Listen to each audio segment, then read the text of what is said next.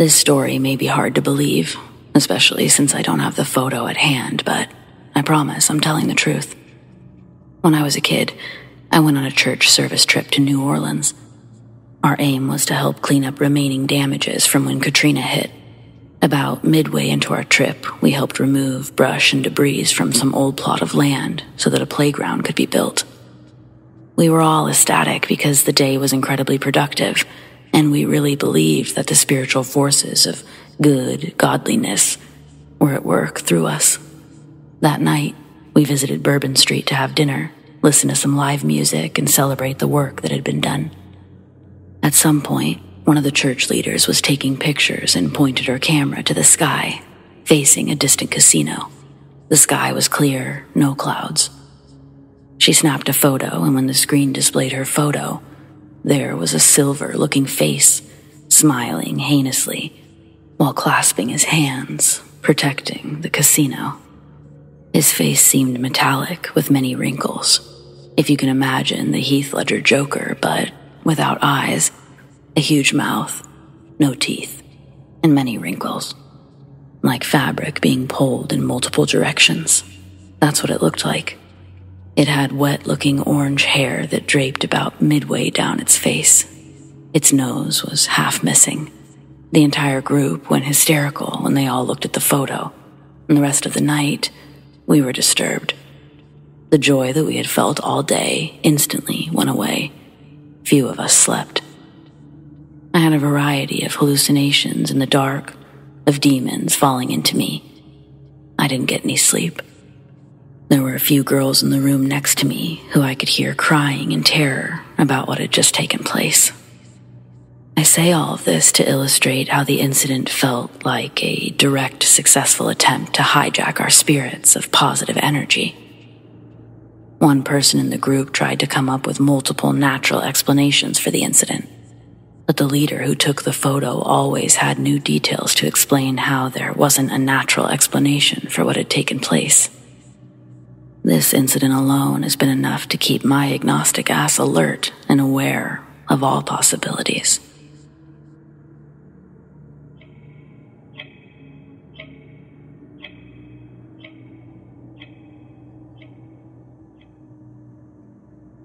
I'm a 28 year old male, but this happened when I was just 15. I loved smoking weed back then, so I was basically smoking with my friends every day. I grew up in the UK and my town was pretty big, with a population of nearly 100,000. The place I lived was like an estate full of houses. I had a best friend at the time who lived about a 20 to 25 minute walk from my house, but in order to get there, you had to walk through a wooded area that led to a big lake that you could walk around to get near his house. So one day, randomly, I was out with my friend who I just mentioned, plus many others, when we noticed a lot of police presence in the area near the woods. Plus, there was a police helicopter in the air.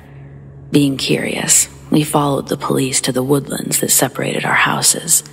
We went through the woods to the lake where the police and ambulance workers were along with many bystanders at this point. We got there and started asking people we knew what happened. We were told that a young boy around the age of seven had drowned in the lake near the path where everyone was gathering. Over the next couple of days, police were trawling the lake looking for the child. They knew he was there because his friend had ran for help when he fell in and couldn't get out. Two or three days after he slipped in, the authorities found the young boy's body, which was big news in my town. No later than 24 hours after the boy was found, the local council installed a black metal bench on the footpath near where he had died, with a little plaque commemorating his life. Okay, so that very next day, I was out with my friend over near where I lived. We were getting high with a bunch of other friends that we knew. By the time we were done getting high, we decided to go back to his house to sleep because my mom would have gone crazy over the fact that we were high. We started to walk back to his house at around 11 p.m. It was really dark out. We passed my house and eventually got to the woods. We walked through the woods and got to the start of the lake. We started walking down the side of the lake, down the path towards where the kid had drowned and the bench was. We were just talking nonsense as high teens did, when I noticed that there was a man sitting on the bench. Now, I was a little bit freaked out by this, but I didn't say anything yet. It was 11 p.m. near the woods in the dark. It was creepy, but when I got a little closer, I noticed that I could see what the man was wearing. He was dressed as a priest. You know, black jacket, white collar. Upon seeing the priest, I sighed some relief because I just presumed he was praying or something. Most likely for the kid that had drowned in that spot four days earlier. So after noticing this priest, I just watched him sit there as I got closer and closer. I didn't say anything to my friend who was right next to me, but we collectively stopped talking once we noticed the man. As we got closer, it was more obvious that he was a priest. And then, once we got within five meters, he was gone. I felt like I blinked and he just disappeared. When we were walking past the actual bench where I'd seen him, there was nobody there. But if he was to have just gotten up and walked away, I'd have seen him. It's a one way track.